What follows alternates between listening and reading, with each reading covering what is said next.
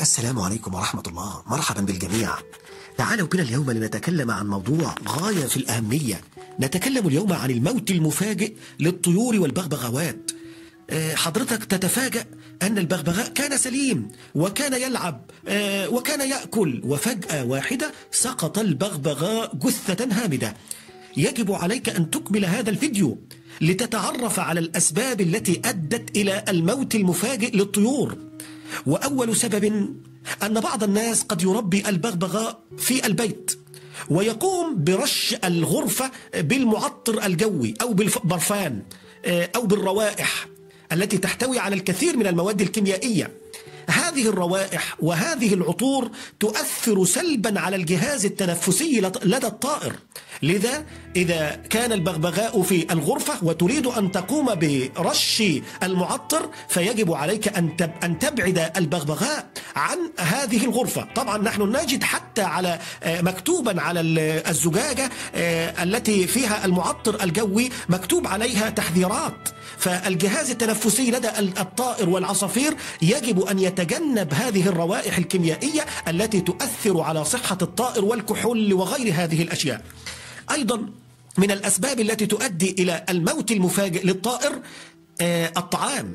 قد يكون الطعام الذي تقدمه للطائر آه، به يعني سوء تخزين أو بعض الناس يضع في هذا الطعام الذي يبيعه للطيور آه، يعني بعض الأشياء التي تؤدي إلى تسمم هذا الغذاء. كأن يضع مثلا حبة الغلة آه، التي تحفظ الطعام في الفلارس والبلكم. فيجب عليك أن تشتري الطعام من مصدر موثوق. آه، الطعام آه، الذي يحتوي على الكثير من المواد الأسمدة والأشياء التي تؤدي إلى موت الطائر مثل الفاكهة يعني مثلا الفاكهة الكبيرة الحجم المهدرجة والخضروات التي وضع عليها مثلا يعني الرش رش كيماوي يعني في بعض الناس ترش المحاصيل الزراعية بالمواد آه، آه، والأسمدة آه، لكي تتجنب الحشرات وغيرها. فيجب عليك أن تغسل الفاكهة جيدا. يعني هذه الفاكهة أنت لا تدري ماذا حدث لها. لا تدري يعني ما الذي حدث. هل تم رشها؟ هل تم يعني سقوطها في بعض الأشياء القذرة؟ فيجب أن تغسل الفاكهة جيدا. يجب أن تقدم الخضروات بعد غسلها جيدا. مش أن أنت تجيب الجزر والبطاطا والتفاح من المحل وتقدمها مباشرة للطائر. هذا خطأ شديد جدا. يؤدي ذلك إلى تسمم الطائر وهو التسمم الغذائي. يعني حصل تسمم. الطائر الطائر مات فجأة واحدة أيضا يجب عليك أن آه، تحسن تخزين الطعام. يعني في بعض الناس بتجيب الطعام الفرالس والبلك والبلكم وغيره آه، أو اللب. طبعا اللب ده آه، اللب عباد الشمس بيضعوا طبعا إحنا عندنا اللب نفسه بيكون محمص. يعني بيكون محمص. يعني إيه؟ عندما تأكل حبة اللب تكون محمصة. لكن عندما تتركها فترة فإنه فإنها تصبح يعني إيه الحماص الذي فيها يصبح يدبل وتصبح يعني إيه بيقولوا عليها إن هي أصبحت غير جيدة غير محمصة. ومع مرور الوقت وسوء التغذية آه، ممكن يجتمع عليها كثير من الفطريات والبكتيريا. فيجب عليك أن تعرض هذه الحبوب للشمس لأشعة الشمس. آه، يجب عليك أن تعرض اللب أيضا لأشعة الشمس عشان حتى يصبح محمص آه، يأكله البغبغاء ويكون سليم على صحته. في بعض الناس يعني بيقولوا إن إن أنت ممكن تضع قطعة من الفحم في داخل العلف. ويجب عليك أن أن تضع الطعام والفلارس والبلكم والدنيبة آه، في مكان جيد التهوية. آه، وأن تبعد الفلارس والبلكم والحبوب عن الأماكن الرطبة. يعني لا تضع شكارة العلف آه، في مكان يصله الماء لأن المية ستصل إلى إلى العلف ويصبح العلف مصاب بالرطوبة والماء. وهذا مع مرور الوقت سيحصل أن العلف سيتعفن وسيصاب بالبكتيريا والفطريات. وبعد كده يحصل تحصل مشكلة كبيرة للطيور. أيضا من الأسباب؟ المية. المية التي تقدمها للطائر. في بعض البلدان آه، أو في بعض الساعات ممكن المية تحتوي على نسبة عالية من الكلور آه، وده بيؤدي إلى موت الطائر. فطبعا أنت الأفضل أن أنت آه، تحط المية من الفلتر. طيب لو ما عندكش فلتر من الممكن إن أنت تغلي المية وبعد ما تبرد الماء تضع تضع هذا الماء في زجاجة وبعد ذلك تقدم هذا الماء الجيد اللي هو يعني تتجنب الكرور العالي المرتفع آه، في الماء. أيضا من الأسباب عدم تنظيف المسقى وعدم تغيير الماء لفترة طويلة.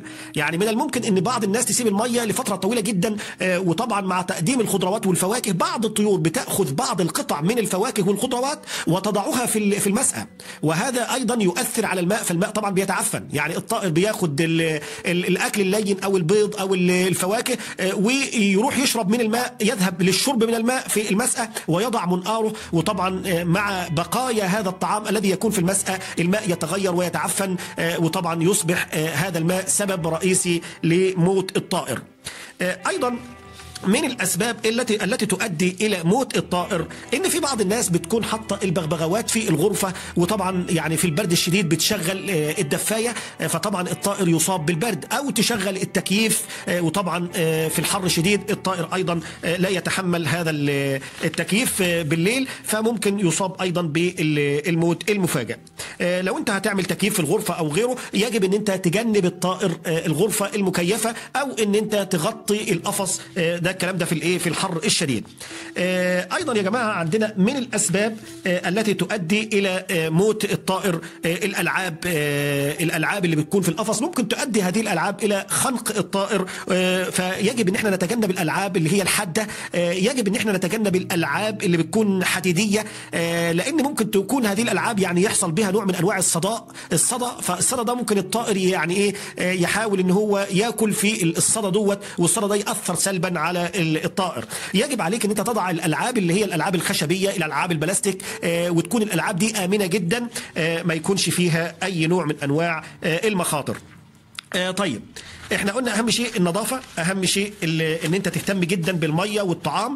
آه وأنا بقول لحضرتك آه لو ان الموت المفاجئ دوت حصل عندك يعني انت حصل عندك موت مفاجئ لأكثر من آه عصفور. يعني لقيت مثلا عصافير كتيرة ميتة مرة واحدة. يبقى انت لازم تغير العلف غير العلف غير الطعام. تذهب لشراء طعام جديد لأن انت الآن يعني ما انتش عارف السبب إيه. فلازم إن انت تتوقف عن العلف اللي, اللي انت بتقدمه للطيور لأن ممكن يكون العلف دوت ما تعرفش إيه اللي فيه.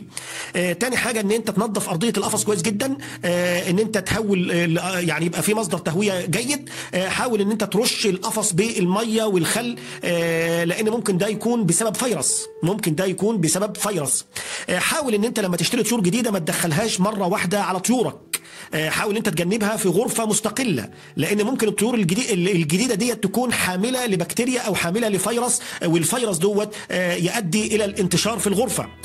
حاول إن أنت لما يكون في عندك موت مفاجئ غير المية قم بتنظيف المية كويس جدا رش الإقفاص بالمية والخل خل التفاح حاول أنت تغير العلف وتجيب علف جديد من مصدر موثوق حاول إن أنت تنظف أرضية القفص كويس وحاول إن أنت بقدر المستطاع إن أنت تتواصل مع الطبيب البيطري لأن تأتي بمضاد حيوي أو تأتي بأي شيء يعني يرفع من مناعة الطائر حتى تتجنب هذه الخسارة. لو في شمس ممكن تعرض الطيور والأقفاص لأشعة الشمس.